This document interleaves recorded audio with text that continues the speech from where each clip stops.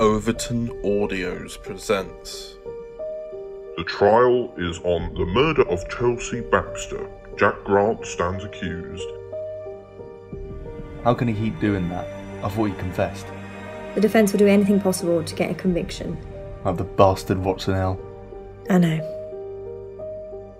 It's not what you think. Was that Darren Kelly leaving the cafe? Yes, but it's nothing intimate. It could compromise the whole case. You're both key members of the investigation. The deceased was alive at the time of death. She was sat facing away from the shooter, and the bullet entered the back of her skull. Yes, call it in.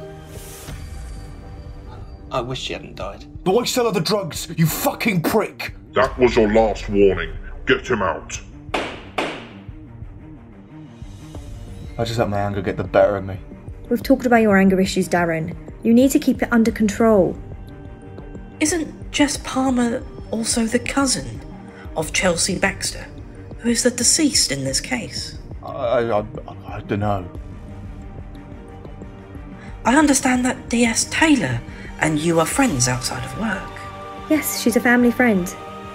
There's a lot of family involvement in this case, Miss Palmer. These are all breaches of regulations. Hi, I'm DS Taylor. May I ask you some questions about a girl who visited here last night? Look, my club took a massive hit when Chelsea Baxter's story came out.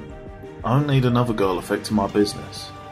Her father lives in Shadwell. The body was found in Shadwell. We are also trying a case in court to do with a drug dealer and murder from Shadwell. It all seems too convenient. On the Scene 2. Coming the 26th of February 2022 at 12 pm.